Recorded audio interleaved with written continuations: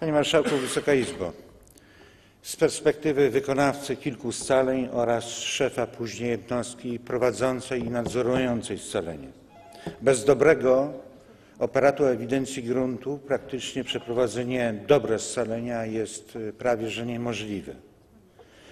Moje pytanie, czy planuje się wydatkowanie, bo to potrzeba, trzeba mówić o potężnych środkach finansowych, na aktualizację czy modernizację operatów ewidencji gruntów? To, co robią powiaty w tej chwili, to jest pozorowaniem co najwyżej prac modernizacyjnych. Kolejna sprawa.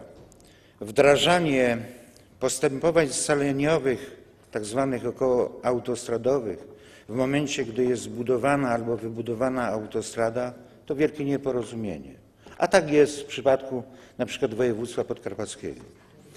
Czy będą przeznaczone środki finansowe, ażeby takim scaleniem objąć większy obszar aniżeli na przykład jeden obręb? Co z pieniędzmi na urządzenia poscaleniowe obiektów? Potrzeba potężnych nakładów finansowych, ażeby ten obiekt poscaleniowy, te prace scaleniowe długotrwałe i drogie po prostu miały sens. Dziękuję bardzo.